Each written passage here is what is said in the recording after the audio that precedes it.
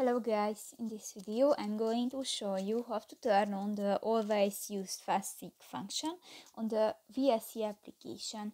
But first of all I just want to mention, please don't forget to subscribe to our channel because at 100,000 subscribers we are going to show you our YouTube revenue statistics and growth strategy how to make money online.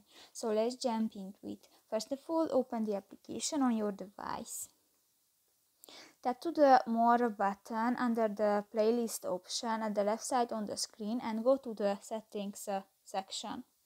Uh, scroll down and in the extra settings section go to the video uh, button and here you can find the always used fast seek function.